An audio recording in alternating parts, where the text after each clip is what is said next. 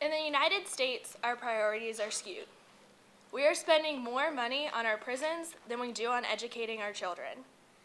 As Lawrence Sherman, chairman of the Criminal Justice Department at the University of Maryland states, we rely more on prison than on early intervention. What does that say about our country? In a speech to the state of California, Arnold Schwarzenegger stated, Today, almost 11% of the state general fund goes to prisons, and only 7.5% goes to higher education. Spending, more, spending 45% more on prisons than universities is no way to proceed into the future. What does it say about any state that focuses more on prison uniforms than on caps and gowns? It sounds like we'd be better off turning our schools into prisons.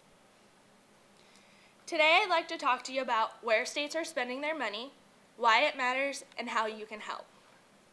First, let's take a look at a prisoner versus a school child. Prisoners have access to television, basketball courts, weights, but more importantly, they get free health care, free meals, and free lodging.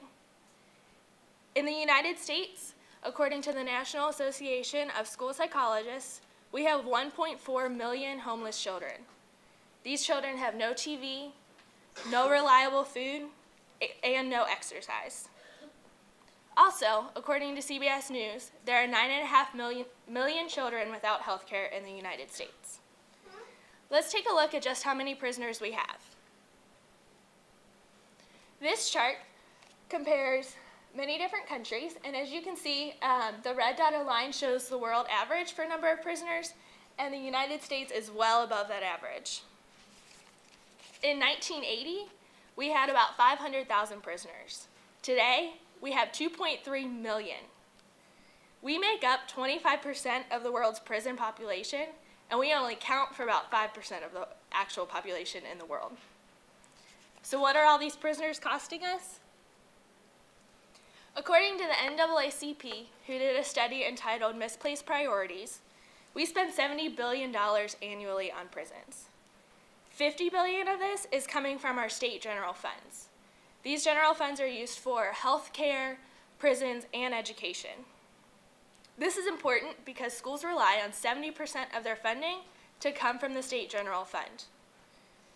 Nine out of every $10 is going to prisons. That other dollar is, splitting, is being split amongst everything else the general fund is used for. Between 1987 and 2007, funding for education went up 21%, while funding for prisons went up 127%. Let's take a look at a chart to put this into perspective. This chart shows the um, change in expenditures between 1980 and 2006. As you can see, we've been spending a lot more on health and prisons and a lot less on higher education and elementary education. Now, why does this even matter? Well, reduced funding equals fewer schools. And we all know that there are many problems with our school system today. Schooling is critical to reduce the number of people in our prisons. Also, it's been shown that higher education benefits the community. There's increased earning, lower unemployment, less use of public assistance, and more people vote. So what's going on in Kentucky? Kentucky is one of those states that are spending more money on prisons than on education. In 2009, the Interim Joint Committee on Judiciary met to discuss this issue. They talked about how the budget has grown 10%. Corrections has gone up 44%, Healthcare is up 146%, and education is at 36%, which is down from the 46% that it was. Also in Kentucky, we are spending $80 a day on a prisoner, while we only spend $36 a day on our students. So what can be done? In Kentucky, we can help support effective defense litigation so innocent people don't get sent to prison. We can support effective alternative sentencing for people who have lesser crimes or nonviolent crimes. Also, we can support the Innocence Project, Innocence Project, which helps prisoners who are in prison but are innocent, and it helps them for free. States can also study the problem more in depth, and we can support efforts to reform drug policy and sentencing. Some states have already, have already started doing this. In New York, they saw a 20% reduction in 10 years. What they did was close three minimum security prisons, and they saved $26.3 million.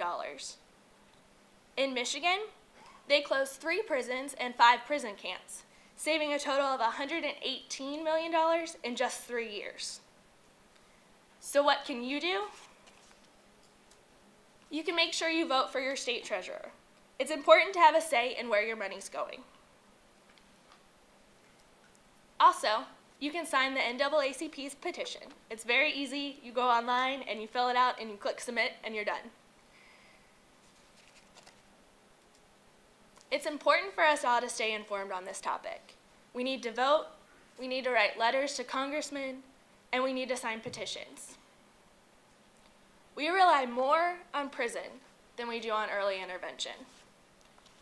We need to change that and rely more on early intervention and less on prisons. That starts with spending more money on education so we can enrich the lives of our youth and keep them out of prisons. Take a stand and help make the United States a better place. Thank you.